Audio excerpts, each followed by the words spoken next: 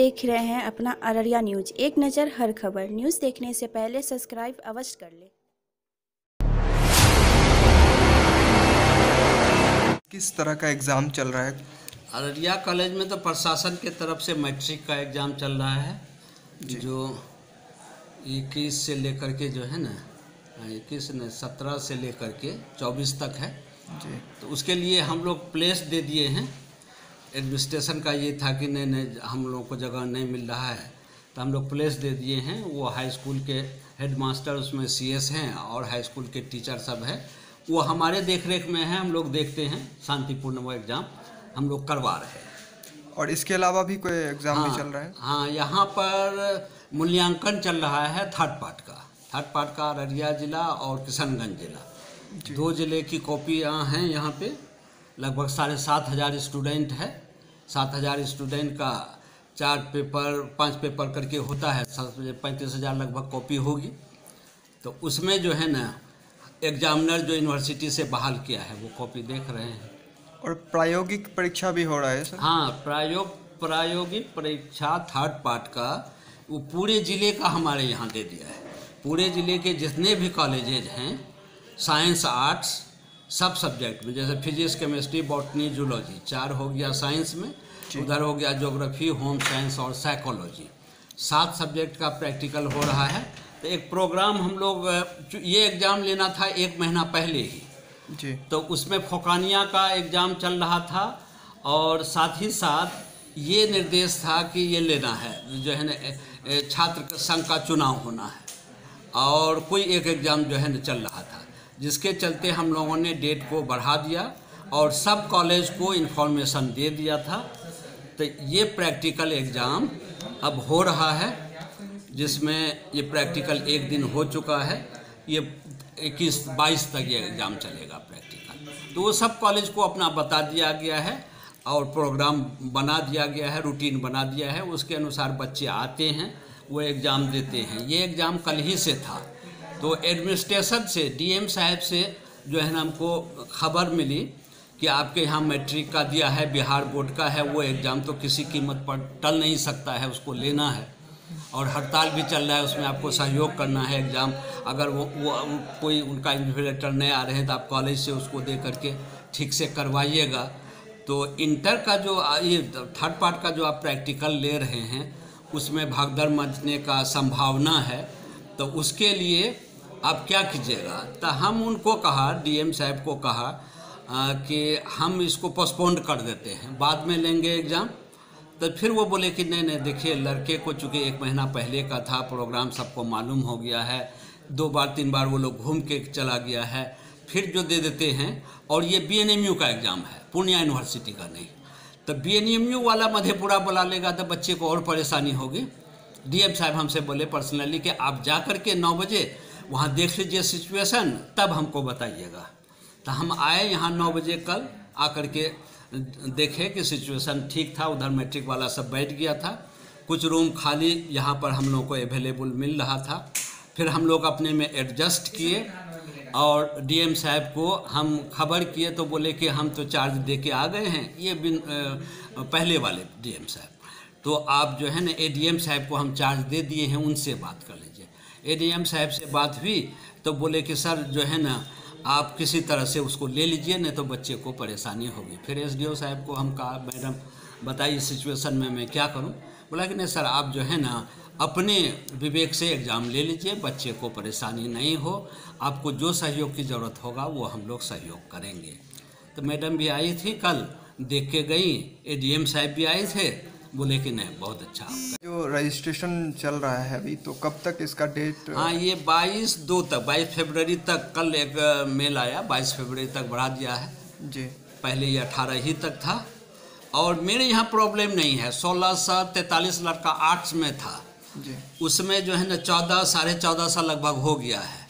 एक सौ पच्चीस लड़का जो है ना माइग्रेशन यहाँ से ले ही के नहीं गया है। तो वो तो अपने कहाँ है? हाँ। पच्चीस तीस लड़का मेरे यहाँ ऐसा है जो दूसरे जगह से ट्रांसफ़र होकर के आए हैं। अच्छा। तो वो जो खोल रहा है तो उसका पुराने जगह पे हो रहा है। अच्छा। तो उसको हम लोग जो है ना कह दिए हैं कि घबराओ नहीं हम लोग कलेक्ट कर लेंगे। यूनिवर्सिटी से जाके अच्छा होता एक बात बताइए रजिस्ट्रेशन करने के लिए जो डॉक्यूमेंट होता है सर क्या फ़ोटो कॉपी से हो सकता है या ओरिजिनल ही लगाना होता है? नहीं फ़ोटो कॉपी से रजिस्ट्रेशन उसका ऑनलाइन हो जाएगा लेकिन हमारे यहाँ जमा करना है उसको original migration photo copy marksheet का और जो वो किया है रजिस्ट्रेशन उसकी कॉपी मतलब ऑनलाइन कर सकता है लेकिन जमा ओरिजिनल करना हाँ ओरिजिनल माइग्रेशन मार्कशीट तो नहीं जमा करना है। अच्छा सर जैसे मान लीजिए पहले से यहाँ जमा है अगर वो ऑनलाइन कर दिया तो यहीं से लेके यहीं जमा कर सकता है? एकदम एकदम वही हो रहा है। जिसको अगर उसका फोटोकॉपी है जी। तो वो लोग माइग्रेशन वहाँ से ऑनलाइन करके आते हैं। जी। और यहाँ हम लोग निकाल के उसको लगा करके ले लेते हैं। कोई परेशानी बच्चे को नहीं हो। हम ये नहीं कहते हैं कि तुम जो है उसको माइग्रे असल यूनिवर्सिटी का और सबका ये है कि रजिस्ट्रेशन उसका हो जाए। हम्म, हम्म, हम्म। रजिस्ट्रेशन के लिए जो तीन चार पॉइंट है वो जब तक लोड नहीं करेगा तो नहीं होगा। तो फोटोकॉपी से भी ये सब निकल रहा है। जिस बच्चे को माइग्रेशन का वो कॉपी नहीं रखा है तो वो यहाँ से ले जाते हैं और जा करके अपना रजिस्ट्रेशन करा के ला के जमा कर दो अच्छा सर अभी जो है अररिया कॉलेज में दो दो यूनिवर्सिटी का काम को देखना पड़ रहा हाँ, है हाँ, हाँ। तो ये किस तरह का मतलब ये हम लोग अभी किस तरह से हैंडल कर रहे हैं? हाँ, बहुत परेशानी। एक यूनिवर्सिटी का एग्ज़ाम चल ही रहा है कि दूसरे का प्रोग्राम आ जाता है। और थ्योरी प्रैक्टिकल मूल्यांकन सबका। अररिया कॉलेज आप लोगों का कहिए कि सहयोग है पूरे अररियावासी का सहयोग है कि यहाँ सब एग्ज़ाम का सेंटर होता है। थ्योरी भी प्रैक्टिकल तो पूरे ज़िले का हो जाता है और मूल्यांकन भी जो है ना हम लोग टालते हैं। उसके अतिरिक्त बिहार सरकार का जो है जैसे इंटर का एग्ज़ाम हम लोग लिए मैट्रिक का एग्ज़ाम चल रहा है फिर इंटर का जो है ना पच्चीस से एवेल्यूशन दे दिया है। पच्चीस से उसका भी एवेल्यूशन दे दिया अच्छा, है। अच्छा। ये एवेल्यूशन समाप्त होगा बाईस को पच्चीस से फिर उसका करना है। सर पीजी का सुनने में आया कि पीजी का चालू होने वाला है यहाँ पे क्लास तो ये कब कैसे स्टार्ट होगा? पीजी का हम जब हम जब पूर्णिया में थे तो पीजी चल ही रहा था यहाँ जब आए। तो पीजी के लिए हम प्रयासरत थे बिहार सरकार को भी लिखे गवर्नर को भी एमएलए साहब से जो है ना उसको प्रपोजल दिलाए। उसके बाद वो- विधानसभा में वो लोग क्वेश्चन भी किए एमएलए साहब। तो पीजी का यहाँ पे हो गया है। और स्पेशली छः तारीख को जल जीवन हरियाली प्रोग्राम में जो नीतीश जी आए थे, उन्होंने घोषणा कर दिया कि नहीं पीजी की पढ़ाई यहाँ इस सत्र से मतलब जुलाई से होगा। और वो जाने के बाद एक लेटर बिहार सरकार से हम लोगों को आ गया कि आपके यहाँ पीजी की पढ़ाई के लिए जो है ना, बिहार सरकार दे दिया है, आप प्रोपोजल बना के दीजिए। हम लोग 24 सब्जेक्ट में पीजी का प्रोपोजल बना के लगभग एक सब्जेक्ट में 10 स्टाफ का मतलब 240 स्टाफ का हम लोग प्रोपोजल बना करके दे दिए हैं। और ये जल्दी स्वीकृत हो जाएगा 240 स्टाफ का। हम लोगों को अब कोई परेशानी नहीं। पूर्णिया यूनिवर्सिटी को थोड़ी परेशानी है।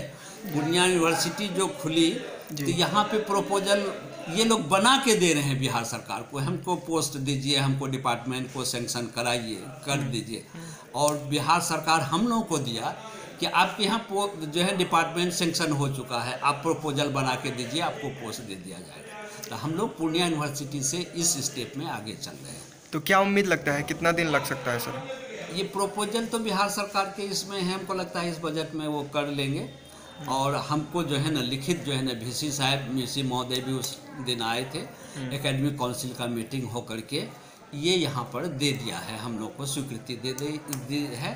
जून जुलाई में जो एडमिशन होगा वो पूर्णिया कॉलेज या अररिया कॉलेज में अच्छा। सभी चौबीस अच्छा सर अररिया कॉलेज के जो रेगुलर स्टूडेंट है वो कब से कैसे क्लास करेंगे? क्योंकि यहाँ पर मैक्सिमम एग्ज़ाम होता है तो उसके लिए क्या बोलना चाहेंगे आप? हाँ एग्ज़ाम जैसे अभी जो इंटर मैट्रिक का है उसमें हम लोग रिस्क नहीं ले रहे हैं।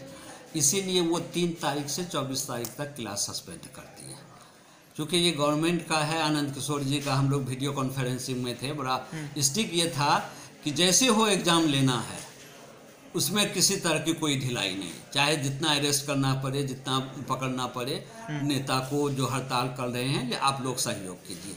तो इसके तहत कि यहाँ पर कोई भगदड़ नहीं मिले हम लोग क्लास सस्पेंड तीन से चौबीस तक कर दिए हैं। ये एक महीना फरवरी मेरा जो है ना डिस्टर्ब रहा क्लास के लिए। जी। अब मार्च से उसके बाद जो है ना कोई एग्ज़ाम नहीं है और अगर कोई एग्ज़ाम होगा भी तो फिर डे भी लॉन्ग हो जाएगा। तो हम लोग सात से साढ़े नौ बजे तक थ्योरी का कर देंगे मतलब क्लास का कर देंगे। उसके बाद एग्ज़ाम का अगर आएगा तो एग्ज़ाम होगा। अच्छा सर और ये बोल रहे थे कि रेगुलर जो क्लास चल रहा है तो उसमें सारे शिक्षक सभी सब्जेक्ट के हाँ, शिक्षक अवेलेबल यहाँ बीस सब्जेक्ट यहाँ है। जी। बीस सब्जेक्ट में हमको सत्रह सब्जेक्ट का टीचर एक आध ही करके गेस्ट टीचर लेकर के मिल गया है। तीन सब्जेक्ट में जैसे इंग्लिश है जी। और साइकोलॉजी है होम साइंस है सोशियोलॉजी चार सब्जेक्ट में मेरे यहाँ टीचर नहीं है और सब सब्जेक्ट में। अच्छा। चलिए सर आपसे बातचीत करके अररिया कॉलेज के बारे में जाने। तो सर आपका नाम क्या है? Doctor Rauf Anwar. Thank you sir आप देख रहे हैं अपना अररिया न्यूज़ एक नज़र हर खबर।